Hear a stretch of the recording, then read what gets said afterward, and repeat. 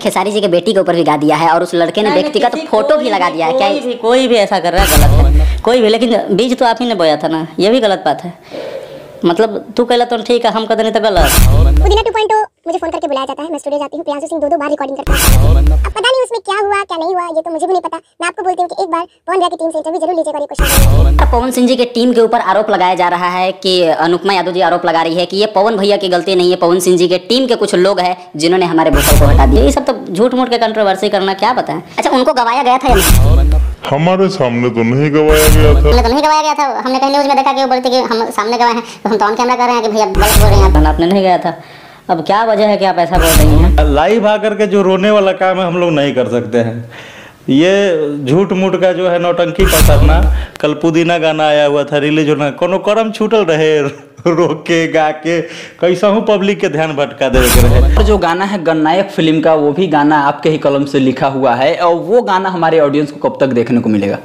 गाना तो देखिए रहे लोग चोरा चोरा के तो गई कर रहे हैं सब। तो गाना मेरा ही है जो गन्नायक से आ रहा है, उम्र तो सतरे सतरे, वो मेरा ही लिखा हुआ गाना है। शूट पर से वीडियो लीक हुआ, किसी ने गाया है। भैया का कोई असर है? भैया कह रहे, ठीक है, जब जाएगा तो पहाड़ की तरह जाएगा, सबको कबार देगा। पुदीना ए हसीना 2.0 जो है, लगातार जब से आया है, एक नंबर पे ट्रेंड कर रहा है। रोशन भैया, सबसे पहले आपका बहुत बहुत स्वागत है। बीएफसी न्यूज़ और लीड न्यूज़ में, कैसे हैं? धन्यवाद आपको भी और आपके देखने वाले को भी। बिल्कुल ठीक है। भैया पुदीना ए हसीना 2.0 लाते ही एकदम धमाल मचा दिए। एक नंबर पे ट्रेंड कर रहा है और मात्रम अभी एक दिन हुआ है। कल सुबह आठ बजे रिलीज़ हुआ था और आज आठ बजे एक दिन हो गया और वो गाना जो है दस मिलियन के आसपास हो गया। क्या क्या कुछ कहना चाहेंगे आप अपने ऑडियंस से? और बहुत बेसब्री से दर्शक इस गाने का इंतज़ार कर रहे थे। इतना लेट क्यों हो गया ये गाने को आने में? सबसे पहले तो जो लोगों ने प्यार दिया है जिन लोगों ने पवन भैया का गाना है और उनके ऊपर पब्लिक का प्यार हमेशा ऐसे ही बना रहता है तो हम यही चाहेंगे कि भैया के ऊपर आप लोग हमेशा अपना प्यार बनाए रखिए और उनके हर गाने को ऐसे ही ब्लॉकबस्टर बनाते रहिए। कैसा लगता है भैया एक दिन में दस मिलियन बहुत अच्छा लगता है और ये पहली बार नहीं हुआ है भैया का ऑलवेज होता है ऐसा गाना। बहुत बार होता है बहुत बार बहुत सारे लोग इंजाम भी लगा देते हैं स्क्रीन शॉट वगैरह दिखाने लगते हैं कि देखो ऐड लगा के दस मिलियन पाँच मिलियन नहीं ऐड तो हम लोग को तो समझ में भी नहीं आता है ऐड वेड क्या कहा जाता है। ये सब ज़्यादा नहीं जानते हम लोग। पब्लिक का प्यार मिल रहा है गाना बज रहा है ना। ऐड पैड कोई क्या कुछ कर रहा है इससे फ़ायदा नहीं। अच्छा क्या कहना चाहेंगे उन लोगों को जो लोग ऐड का हर बार इंजाम लगाते हैं कि ऐड लगा दिए ये कर दिए? अच्छा ऐड लगा करके व्यूज़ ले सकते हैं। ऐड लगा के ट्रेंडिंग में ले आएँगे क्या? एक नंबर पर ट्रेंड कर रहा है। चश्मे का कलर जो होता है ना वो पूरी दुनिया के कलर को नहीं चेंज कर चेंज कर देता है।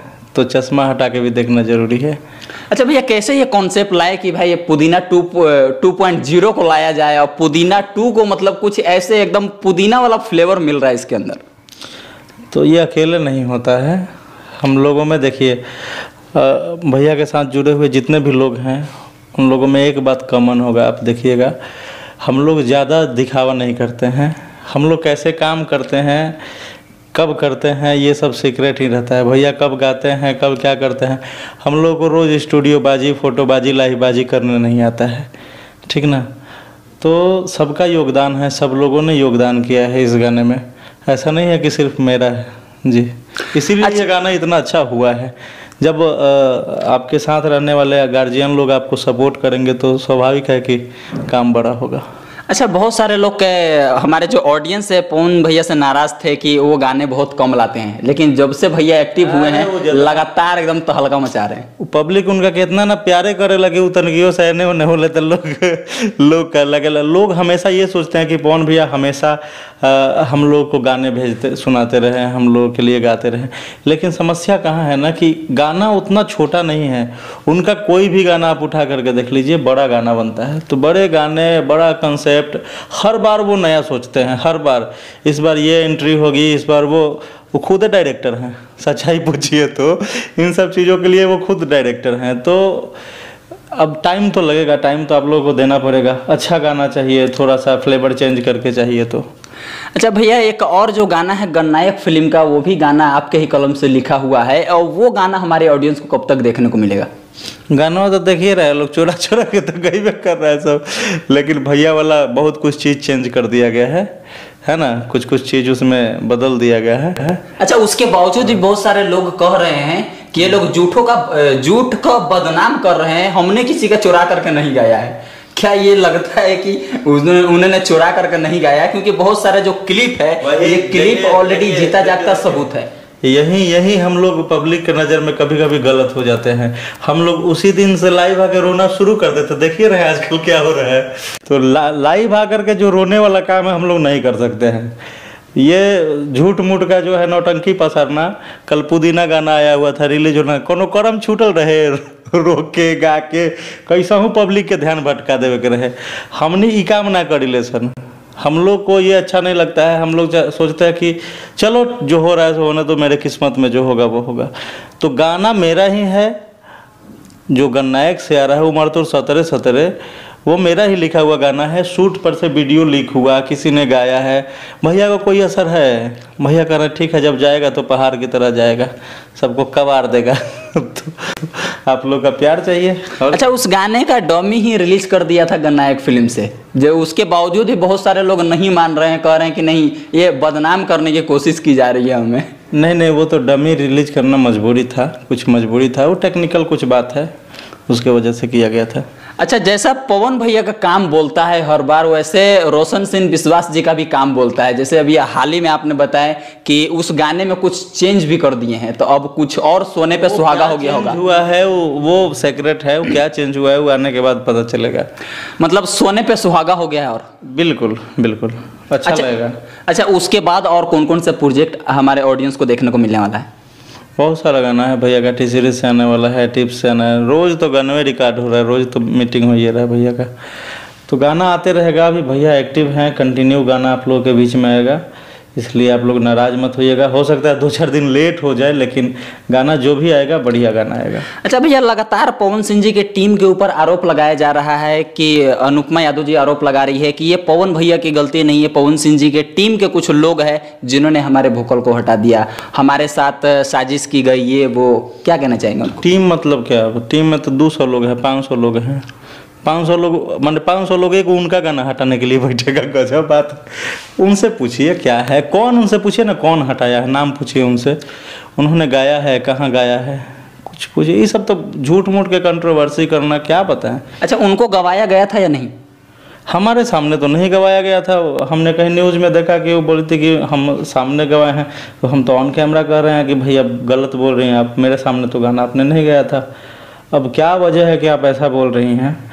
आप मेरी बहुत अच्छी दोस्त हैं, लेकिन इस तरीके से मत कहिए कि मेरे सामने गाना रिकॉर्ड हुआ था और हटवा दिया गया। हम लोग का इसमें हम लोगों ने कभी चर्चा भी नहीं किया है इन सब चीज़ के बारे में। तो ये तो भैया बताते हैं किससे गवाना है, हम लोग खुद से बैठते हैं कि भाई किससे गवाना है, क्या गवाना है। ऐसा तो कभी हुआ नहीं किसी से गवा लिया जाए और डिलीट करा दिया जाए। ऐसा कभी किसी भी सिंगर के साथ नहीं होता है, किसी भी राइटर के साथ नहीं होता है।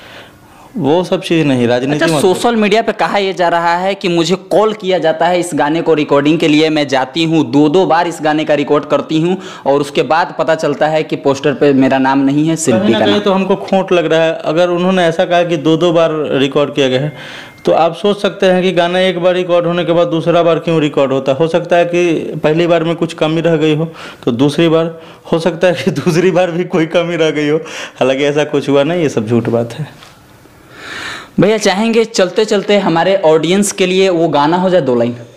पुदीना टू पुदीना या हसीना टू पॉइंट ज़ीरो।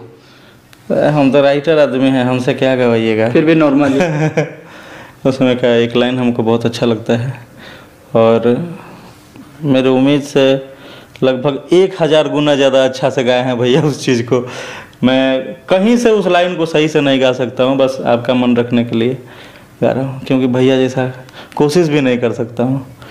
कि जेसीबी से दिलवा हमर तोड़ दिहलू अधे, राह में छोड़ दिहलू हो। जैबू ससुराना, पवन जस बरेंड मिली दुल्हा। सेकेंड हैंड मिली हो। बहुत अच्छा गाना है बहुत अच्छा प्यार मिल रहा है आप लोगों का। नमस्कार अच्छा भैया एक और लास्ट सवाल। ए, सवाल ये है कि बहुत सारे जो राइटर है वो किसी किसी के माँ बहन के ऊपर ही गाना लिख करके गवा दे रहे हैं सिंगरों को क्या लगता है ये चीज़ हमारे भोजपुरी में सही है? एक सिंगर है जिन्होंने गा दिया है कि रात भर नचाई रे डिम्पलवा तो हई मरद और हिरान। ये सब चीज़ सही देखिए, सबके अपने अपने संस्कार हैं। हम जहाँ से आए हैं, हम जिस समाज में रहते हैं, हमने कभी ये चीज़ नहीं सीखा। हमारे समाज ने, हमारी परवरिश जहाँ से हुई है, कभी ये चीज़ सीखने को, कभी इस चीज़ की तरफ़ फोकस ही नहीं किया गया। है ना? हम लोग इज़्ज़त से सबसे ज़्यादा डरते हैं, चाहे वो अपनी इज़्ज़त हो या दूसरे की इज़्ज़त हो। तो ठीक है, जो लोग गा रहे हैं पब्लिक तो ये है, प्यार तो बरसाइए रहा है पब्लिक कहीं कहीं स्टेजों प्रोग्राम वायरल हो जाता है, वो लोग का भेंट आ जाता है तो पब्लिक बरसा देता है अपना प्यार। झोला में घर से प्यार वार लेके जाता है पब्लिक स्टेजे पे बरसा देता है। आगे अगले दिन चाहे बार रातें में बारह एक बजे उठ के लाइव रोने लगता है लोग। तो पब्लिक का प्यार बरसते रहता है वो लोग पे भगवान करे ऐसे ही बरसते रहे। अच्छा अभी हाल ही में खेसारी जी के बेटी के ऊपर भी गा दिया है और उस लड़के ने व्यक्तिगत किसी- फ़ोटो भी लगा दिया है क्या कोई भी कोई भी ऐसा कर रहा है गलत है। कोई भी लेकिन बीज तो आप ही ने बोया था ना ये भी गलत बात है। मतलब तू कहला तो ठीक है हम कहते नहीं तो गलत। कहीं आप, आपने कभी माफ़ी मांगा है कि हाँ मेरे से भी गलती हुई है? पचास लड़के कई गो के नाम बता दी हम। बताना चाहिए, बोलना चाहिए। उसके लिए, उसी लाइव में माफ़ी भी मांगना चाहिए। हम देखे थे कल लाइव हमको लग रहा है आप अगला सवाल ये पूछने वाले हैं। आप यार कंट्रोवर्सी करना, जात बिरादरी का बात नाम लेकर के करना, वो तो सारा टारगेट था। हम लोग समझे नहीं। हम लोग तो समझ ही रहे थे। कल गाना चल रहा था। कल गाना मिलियन पे मिलियन मारे जा रहा है, एक मिलियन, दूसरा बार सर्च किए तो दो मिलियन, तीसरा बार तो मिलियन मार रहा है कोई आके लाइव वो सब डिस्टर्ब करने के लिए होता है, लेकिन भगवान है पब्लिक है, सब समझदार है लोग।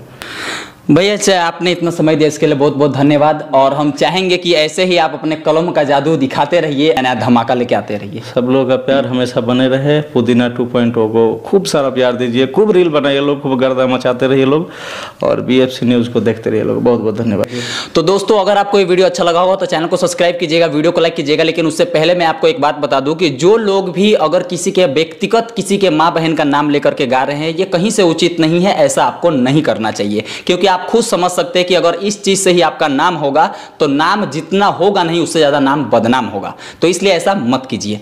वीडियो अच्छा लगा तो चैनल को सब्सक्राइब कीजिएगा, वीडियो को कीजिएगा, चलिए मिलते फिर किसी अगले वीडियो में, तब तक के लिए जय हिंद।